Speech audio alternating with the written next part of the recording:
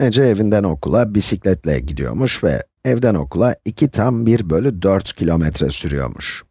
Sonra okul bitmiş ve okuldan arkadaşına gitmeye karar vermişler beraber ve okuldan arkadaşının evine kadar da 1 tam 5 bölü 8 kilometre daha bisiklete binmiş. Ece toplamda kaç kilometre bisiklete binmiştir? Ece ne yapmış bu kız?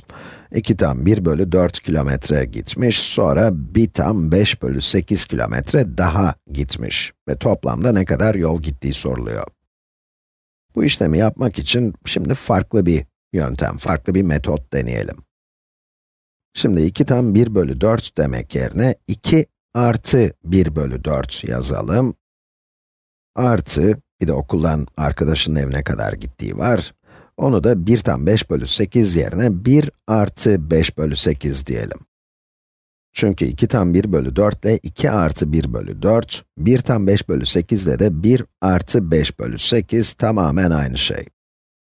Şimdi işlemleri kolaylaştırmak için sırayı değiştirebiliriz. Öncelikle tam sayıları toplayalım. 2 ile 1'i. Ne etti? 2 artı 1, 3. Şimdi de 1 bölü 4 ve 5 bölü 8'i toplamamız lazım ve bunları toplayabilmek için bir ortak paydamız olması gerekiyor. O zaman bu kesirleri toplayabilmek için 4 ve 8'in en küçük ortak katını bulmamız lazım. Bu bizim yeni paydamız olacak. 8, 8 hem 8'e hem de 4'e bölünebildiğine göre ortak paydamız 8 olabilir. O zaman 5 bölü 8 olduğu gibi kalsın. Paydayı 4'ten 8'e getirmek için de kesri 2 ile çarpmamız gerekiyor değil mi? Böylece kesrin bu bölümü 2 bölü 8 olur.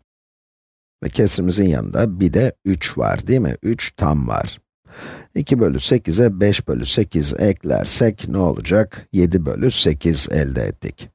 Yani sonuç 3 tam 7 bölü 8 kilometre olacak. Ece toplamda 3 tam 7 bölü 8 kilometre bisiklet sürmüş. Şimdi bu arada bir şeyi açıklığa kavuşturmak lazım. Şu ana kadar tam sayılı kesirleri topladık. Bu sayıların kesir kısmı hep basit kesir çıktı. Bunlar da pay, paydadan küçüktü. Şimdi payın paydadan büyük olduğu duruma bir örnek verelim. Elimizde 1 tam 5 bölü 8 ve 2 tam 4 bölü 8 olduğunu varsayalım. Bu durumda tam kısımları eklediğimizde ne olacak? 1 tam ve 2 tam topladığımızda 3 elde ettik.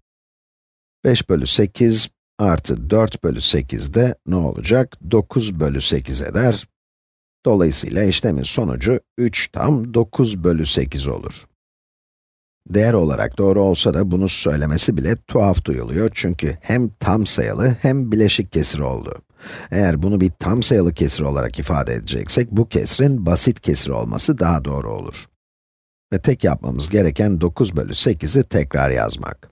Bu da 1 tam 1 bölü 8'e eşit olacak. 9'u 8'e bölersek 1 çıkar ve kalanı da 1 olur. Böylece bu sayı 1 tam 1 bölü 8'e, yani bu sayı dediğim 9 bölü 8, 1 tam 1 bölü 8'e eşit olur.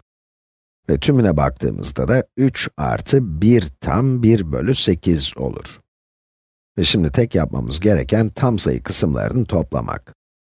3 artı 1, 4 eder. Elimizde de 1 bölü 8 olduğuna göre cevabımız 4 tam 1 bölü 8 oldu.